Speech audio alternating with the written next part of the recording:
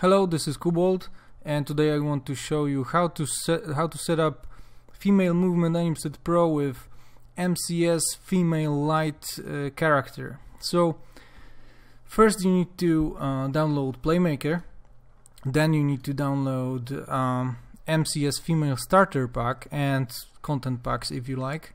Then you need to download female movement animset pro, and you need to unzip this little file, project settings, and replace the project se project settings file in um, in your project settings folder. Uh, so um, next uh, we go to uh, female movement animset pro demo scene, and we have our player here.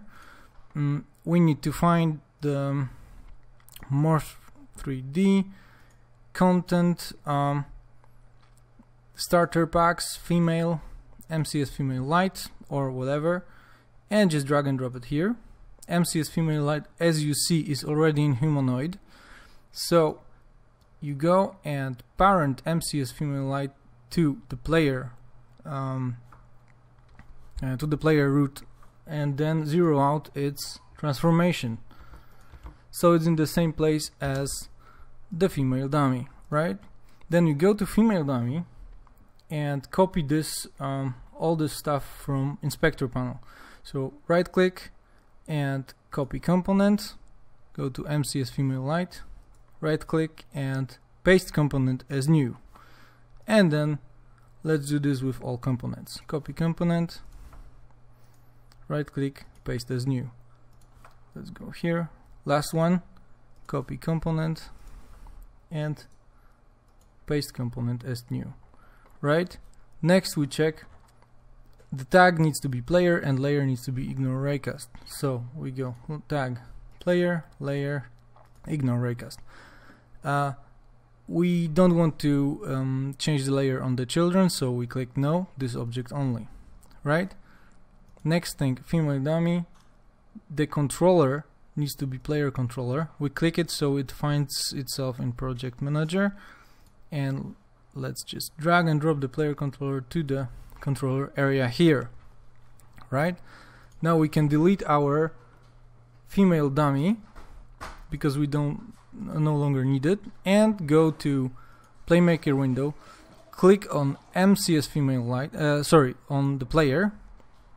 Oh I had lock clicked so once again click on the player and click lock to lock it lock the window right?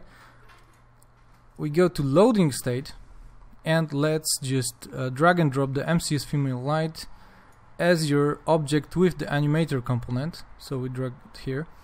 Next the character controller component. We need to cl click MCS female Lite and reference the character controller component not the object the component.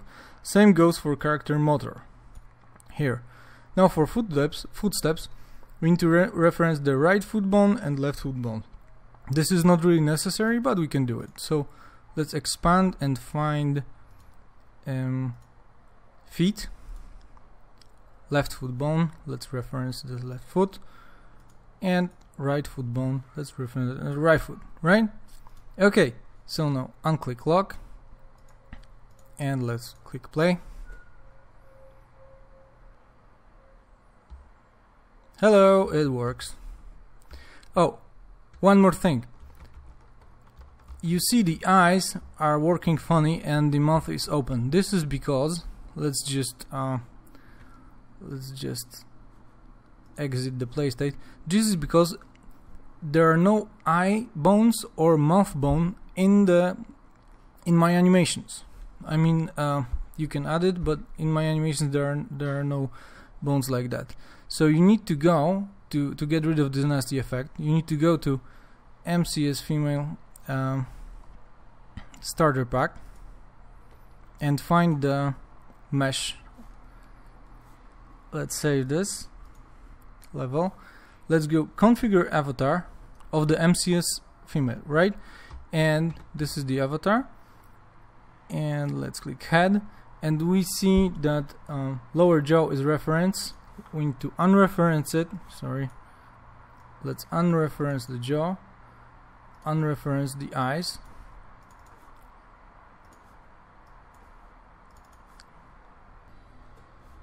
Alright done. Now when we click play